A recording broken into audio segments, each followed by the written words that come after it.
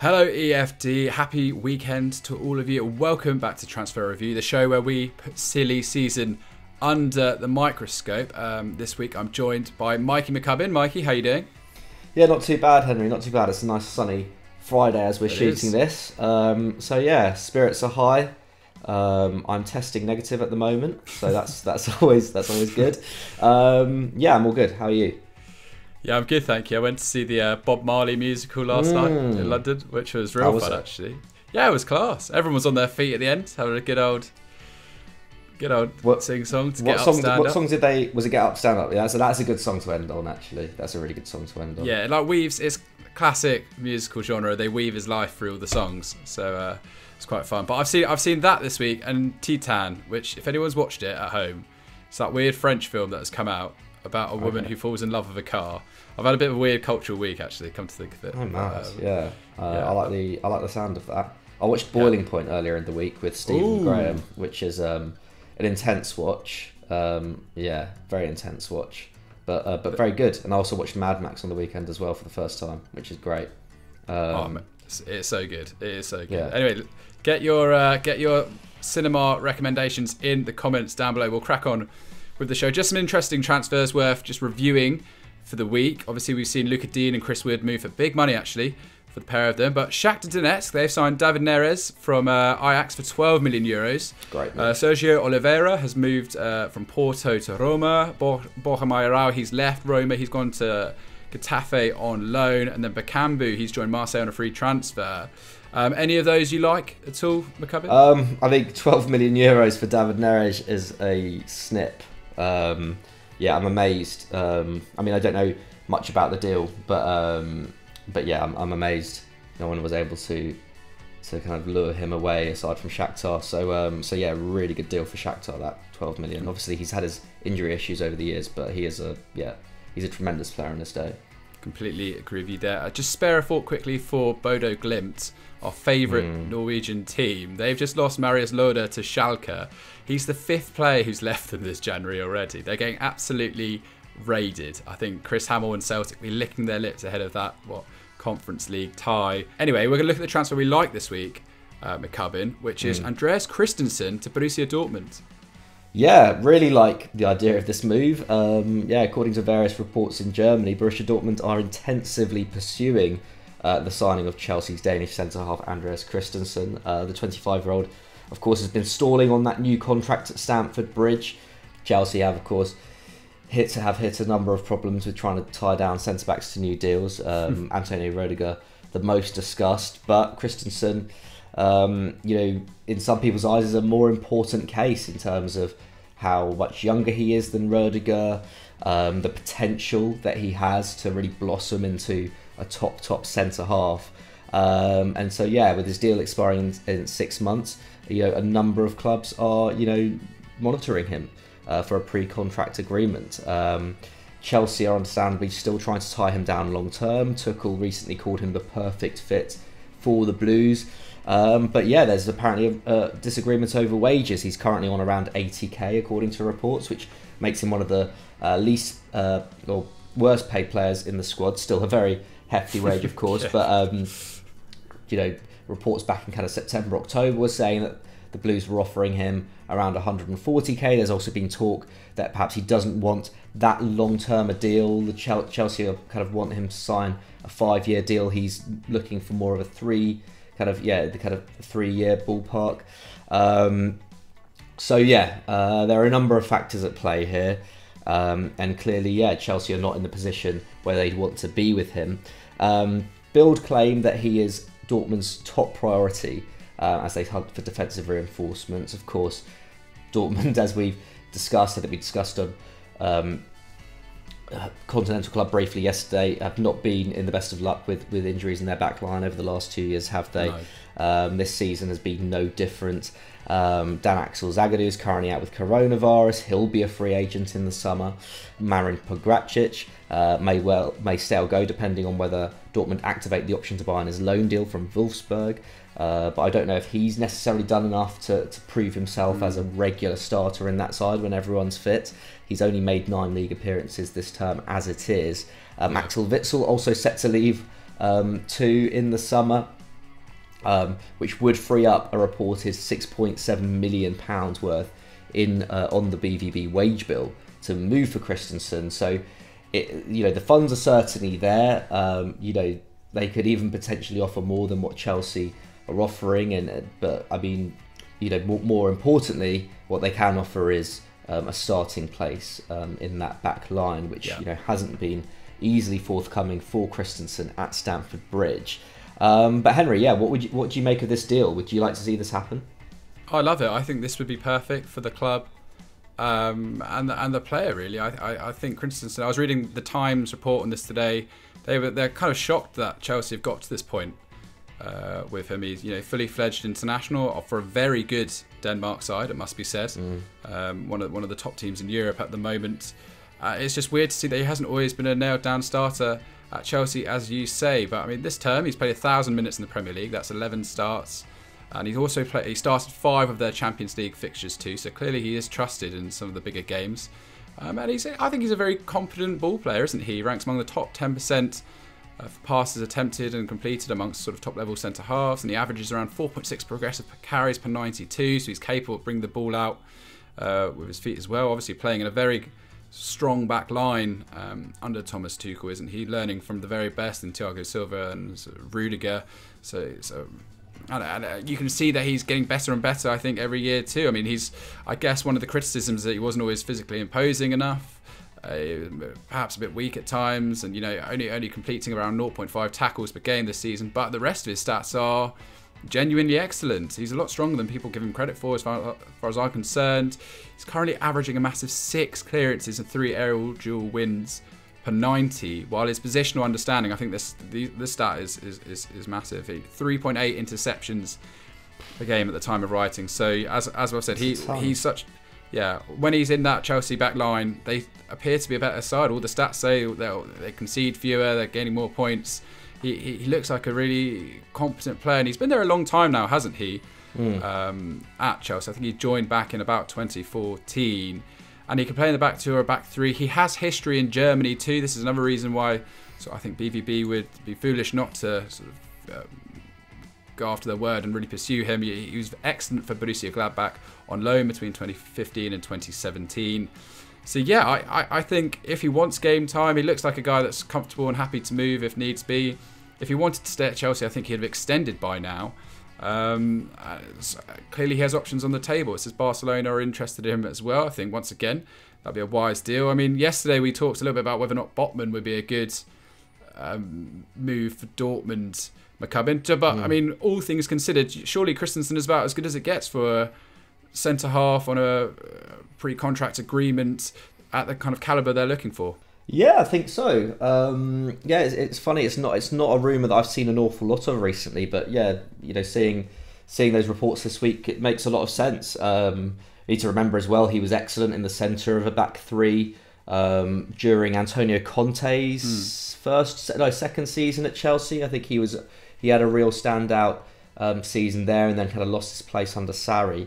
Um, so this is a guy who, you know, at 25, which is still, you know, on the younger side um, for, for kind of senior centre halves, has quite a lot of experience, and like you say, was was excellent at Borussia Mönchengladbach as well. So, yeah, I mean, this is a guy who's been kind of threatening to to kind of explode and really assert himself as one of the top defenders in Europe for a number of years now.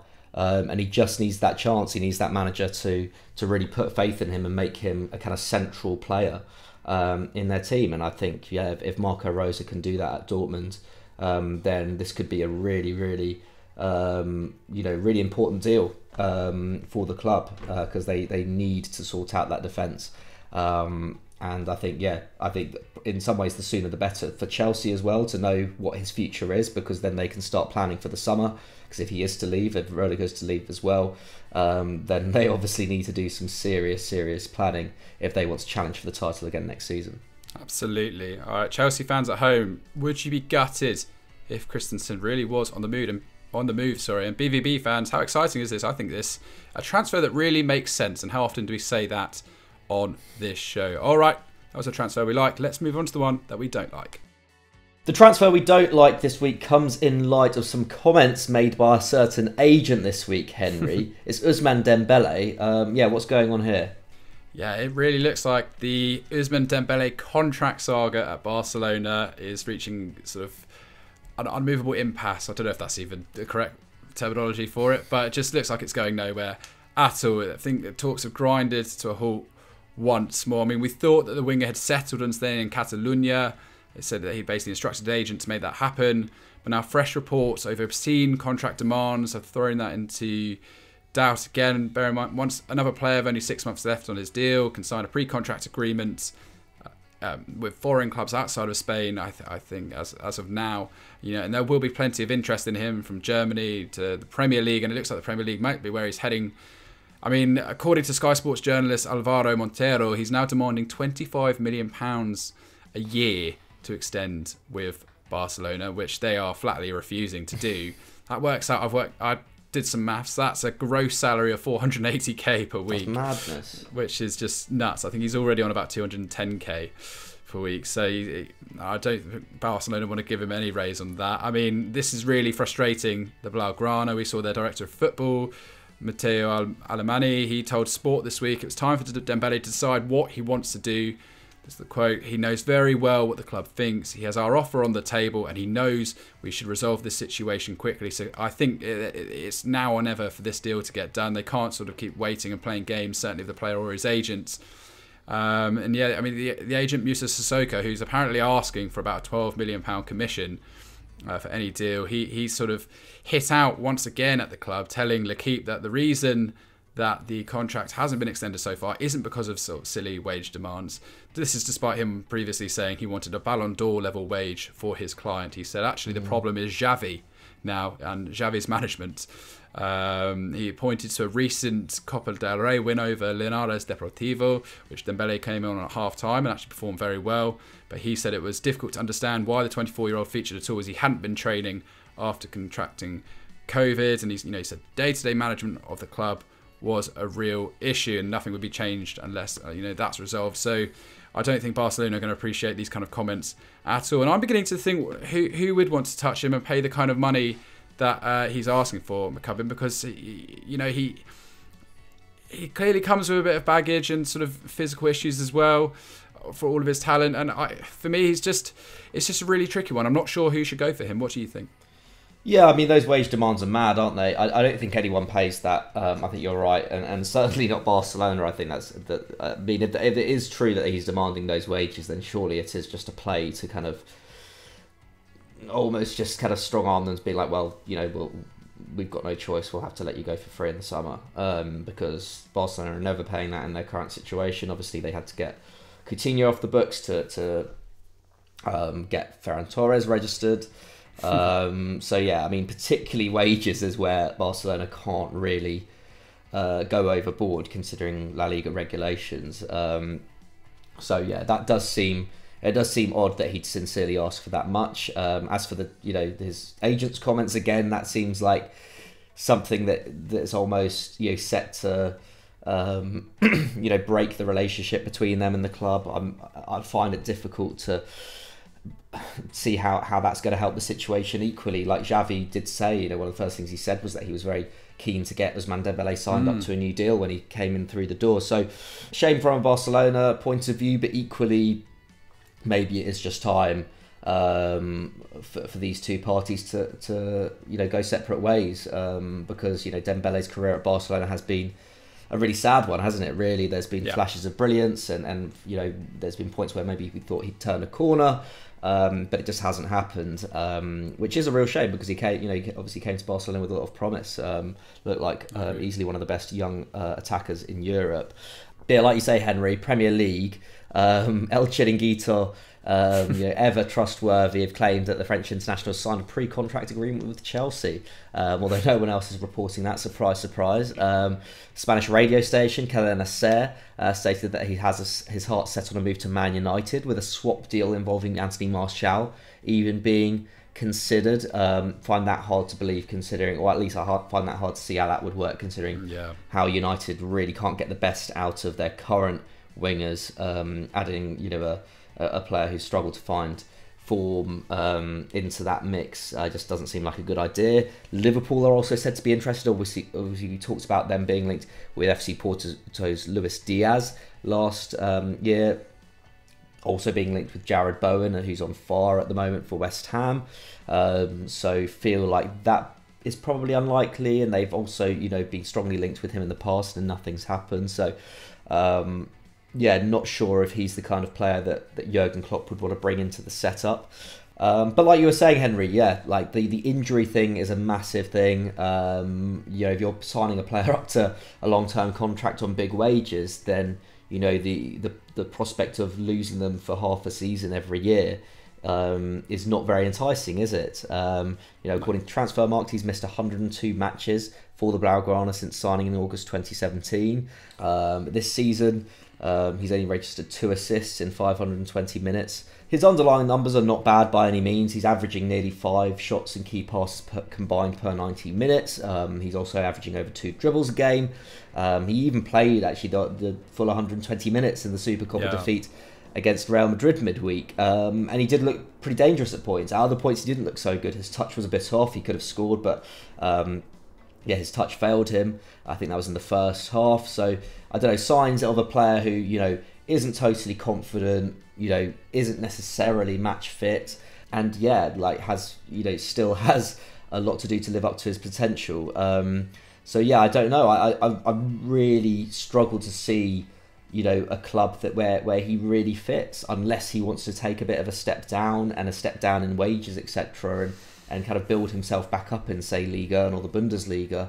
Um, I don't know if you have any thoughts on this, Henry. Honestly, I don't really know. It's I, I've been thinking about this quite a lot. I don't think that he should go to Chelsea. I don't think that he should go to Manchester United. I think they've should maybe give a chance to people like Rashford and Sancho, etc. I mean, in all honesty, I think he should stay with Barcelona. I think he should maybe adhere to what they're asking. He's going to be played well, um, paid well. Sorry, and I think if he can just show quality and consistency over an extended period of time, then he can start to demand some of these wages once more. I mean, there's a lot of money has been spent on him in such a short time. Um, so I think he really needs to start showing what he can do. But it's a really, really tricky one uh, to deal with. But I mean, uh, everyone at home, where do you think Ousmane Dembele should head next. Let us know in the comments down below once more. Mikey, thank you very much for joining me uh, on this, like you said, lovely weekend morning. Yeah, what do you think our viewers should go to now to uh, kick off their Saturday?